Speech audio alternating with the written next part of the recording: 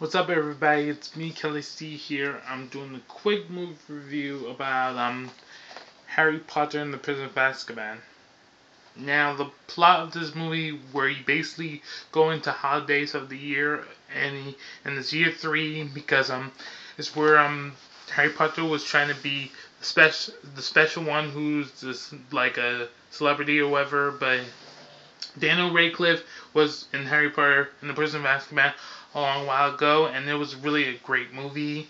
And um, it's kind of like it was a real powerful movie when um, he did Expecto Patronum for all seven of the years ago. But his powers was like of the wand and stuff.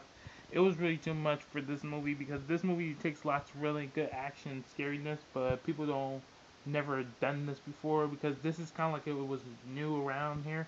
So that's why they made a special spell for these powers for Harry Potter and stuff and it's really a great movie. So not to worry, it's rated PG. It's not, I don't think it's not PG-13, but it's a, but it's a great, good movie. So let me talk about this movie because in a way, I keep on mush mouthing a little bit. okay, let me calm down.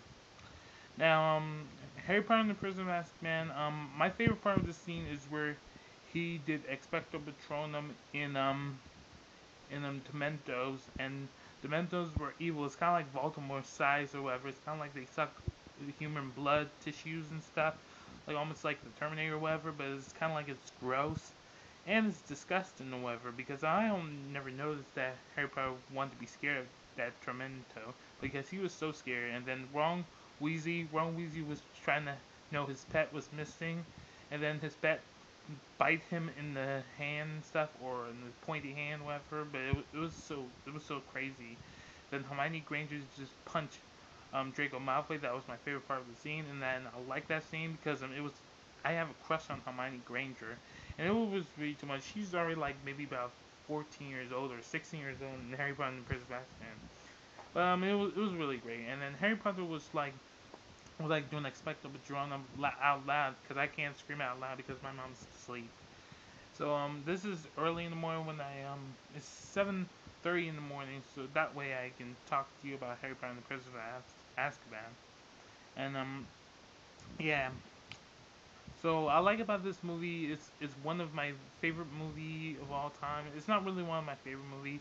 My favorite movie was Harry Potter and the Goblet of Fire, but I'll show you the reviews about that soon. But uh, I'm showing you this review because everybody knows that you like this Harry Potter, so I'm just showing you this review for Harry Potter and the Prisoner of Azkaban. And, um, yeah. It's got lots of special features and stuff. It's got lots of interviews for the cast and stuff. It's got lots of behind the scenes of making of Harry Potter and the Prisoner of Azkaban. And it's got lots of games and activities and stuff. It's got all kinds of stuff. No matter what happens, it always be on DVD and stuff. So it's gonna be on Blu-ray too, and it's gonna be everywhere. But now that's it for my movie review, and I really wanted to say that I do like this movie, but I'm gonna give this a C plus because this is like maybe it was great, and it's not really great for me. It was great for everybody. It was okay, and it was okay. So I'll just uh, make it a C plus. So that would be great. So then I gotta go and then enjoy this review and then subscribe me and like it or unlike it. And please put comments, just make it appropriate and do nice things for your world. So see you later and the Kheli C fans will always be with you. Peace.